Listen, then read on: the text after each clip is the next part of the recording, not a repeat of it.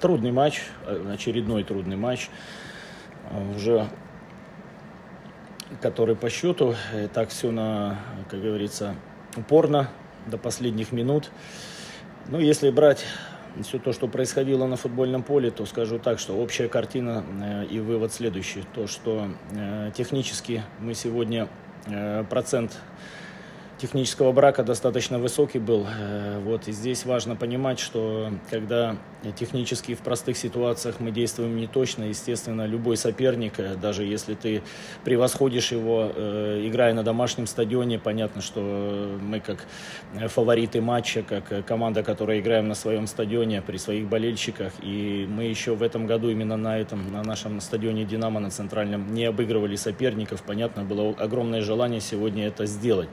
Вот. Но еще раз повторюсь, технический э, брак в простых ситуациях, он разрывает игру. Команда э, «Шахтер» э, при всех своих там проблемах и то, что в последних матчах команда не набирала очки, но, понятно, вышла заряженная играть на то, чтобы изменить эту ситуацию. Поэтому очень трудный матч и, естественно, что когда э, брак, брак зашкаливал, скажем, у нас, естественно, что она тогда получается такой рваный. Ну и как следствие, еще раз говорю, вроде бы как бы хочется улучшить этот компонент, компонент по ходу игры успокоить ребят, но тут прилетает автогол и э, приходится опять включать титанические усилия путем замен, путем даже эмоционального каких-то спичей с моей стороны, чтобы за, э, поджигать э, в хорошем смысле этого слова футболистов, чтобы направлять их и, играть решительнее, смелее, чтобы изменить эту ситуацию. Ну, слава богу, то, что закончилось победой, мы одержали долгожданную победу, благодарность болельщикам за поддержку, возможно, и их импульс в концовке матча вот э, придал нам определенных сил еще и для того, чтобы добавить и вырвать эту победу. Ну а так, конечно, есть еще э, плацдарм э, для э, стремления развиваться, совершенствовать свою игру и атакующий потенциал. Ну и сегодня э, мы пропустили два мяча, что в принципе на протяжении предыдущих матчей нам было не свойственно, я имею в виду в чемпионате именно. Ну а так еще раз говорю, что э, трудный матч и соперник тоже был сегодня достаточно мотивирован, чтобы изменить э, неприятную тенденцию, которая у них продолжается в виде серии из поражений. Но мы не обращаем внимания на соперника, нам важно э, искать средства для улучшения своей игры, для того, чтобы более убедительно и более э, солидно добиваться побед. Спасибо. Коллеги, будут ли вопросы? Вадим Викторович, с победой. Скажите, пожалуйста, вот если загадывать наперед, уже не за горами Еврокубки, известны некоторые команды, которые возможны в качестве потенциальных соперников в стартовом квалификационном раунде Лиги Чемпионов. Среди них Лудогорец, Ференцварыш. Скажите, может быть, вы уже какие-то просматривали команды нет, конечно, нет. Я понял смысл, да, спасибо за вопрос. Э, ну, первое, что, знаете как, вот э, по окончании матча, сейчас еще эмоциональная такая составляющая повышенная, да, у меня внутри кипит все еще как э, в таком матче, да. Сейчас вот говорить про Еврокубки, про там какие-то мы э, собираем информацию, но поверьте, есть опыт определенной э, игры в Еврокубках, да, естественно, это происходит, анализ и подготовка к матчу, когда уже ты конкретно соперника знаешь. А потенциально те соперники, которые могут нам выпасть, ну, это как, знаете, пальцем в небо э, ткнуть, условно говоря, а может это, а может это, а может это. Ну, для того, чтобы готовиться плодотворно, то, как нужно это делать, да, естественно, надо четко понимать, кто в твоих соперниках. Вот. Э, ну, сейчас этой ситуации пока нет. Многие эксперты э, считают, что Динамо не хватает э, именно высокого, мощного атакующего игрока.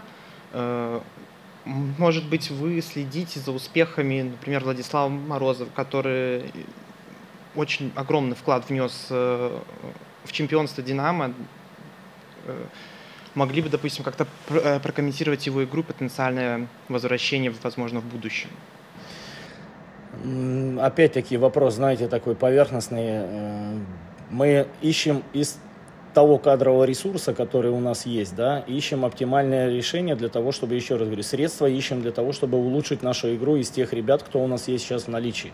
Вот это самая главная задача тренерского штаба при подготовке к конкретному матчу. Трансферное окно летнее открывается намного позже, э, чем на сегодняшний день. Мы не имеем возможности кого-то дозаявлять. Естественно, что работа ведется круглогодично, селекционный отдел, какие-то пожелания мои тренерского штаба учитывает, но опять-таки надо понимать возможности, которые у нас есть для того, чтобы сейчас найти, э, еще усилить э, атакующий потенциал за счет э, приобретения какого-то нападающего или приглашения нападающего. Но это не так просто.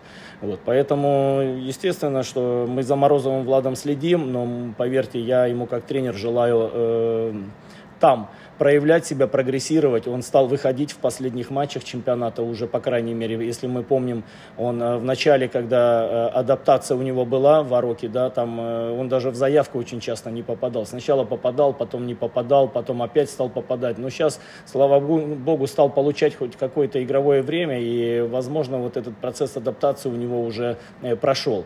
Поэтому я хочу ему пожелать, чтобы он там, в этом чемпионате Португалии, в Ароке прогрессировал и играл на том уровне.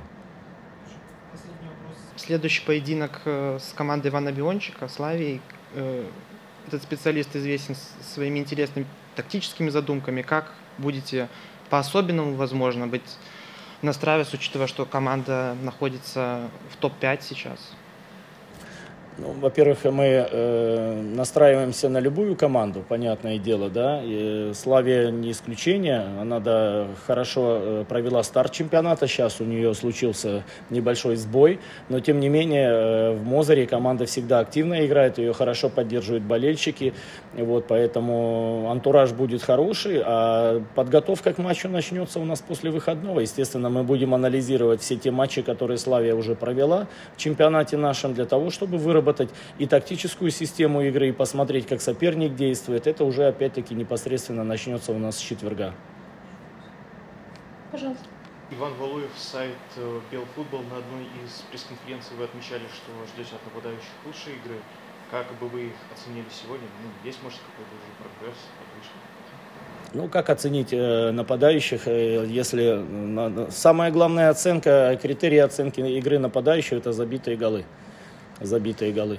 Вот, поэтому я думаю, что это и есть ответ на вопрос. Естественно, помимо забитых голов, есть еще э, держать структуру игры, помогать полузащите, вести единоборство, участвовать в коллективных, э, в командных действиях, ту э, стратегию матча, которую мы выбираем, и э, чтобы командная игра смотрелась. Так, в целом, я еще раз говорю, здесь как бы там больших нареканий нет, но подытожить все усилия команды, конечно, нападающие обязаны забитыми голами. Сообщал, что Минская «Динамо» проявляет интерес к африканскому легионеру Эфаге. Действительно ли это так? И связаны ли поиски на позицию форварда с... И может, может быть связаны поиски на позицию центра форварда с результативностью Пащинского, Мелешина? Я скажу так, э, впервые слышу, э, ух, как ухо? телеграм-канал «Ухо». Ребят, вот я вам хочу сказать, я все поудалял. Все поудалял. Вот чтобы вы меня слышали сейчас, да, я вам, ну, э, честно, с хорошим э, посылом я вам хочу сказать. Я абсолютно ничего не читаю, никаких комментариев, никаких э, порталов спортивных. Не обижайтесь, но это так, я честно. Я не читаю ничего от слова, от слова совсем. Знаете почему? Потому что если я свою энергетику еще начну растрачивать на то, что вы пишете там, и то, те комментарии, которые там э, льются, да, и положительные, и отрицательные, и э, безнравственные, и какие-то, может быть, и солидные, которые э, люди разбираются в футболе, да, но в основном там э, просто, ну, грязь, по большому счету, много грязи, много грязи. Вот, поэтому я не читаю абсолютно э, ничего, и какой интерес к Эфаге я первый раз слышу об этом. Спасибо. Пожалуйста.